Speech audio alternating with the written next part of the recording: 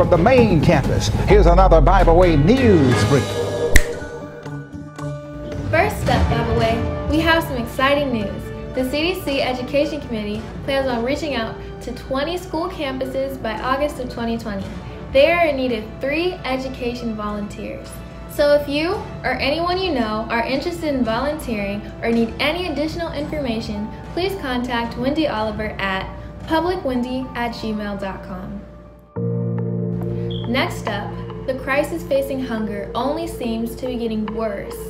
So that's why we encourage you to visit Bible Way Food Pantry. Our partners and volunteers are working hard to assist you in distributing boxes of food. If you or anybody you know are in need of food assistance, just know that Bible Way Food Pantry is always here to help.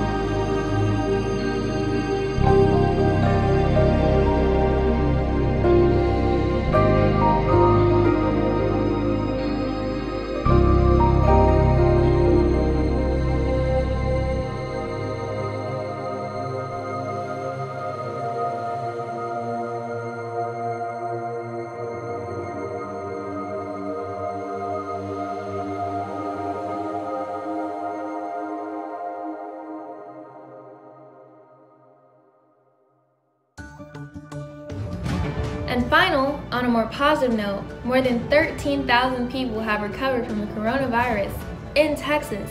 This is the second highest recovery rate in America.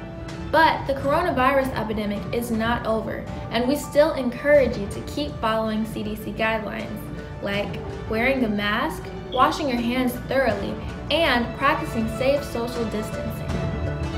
Well, Bible Way, that was our latest Bible Way news brief. I'm Kayla Henderson, and have a blessed week. The main campus. This has been a news brief from Bible Way News.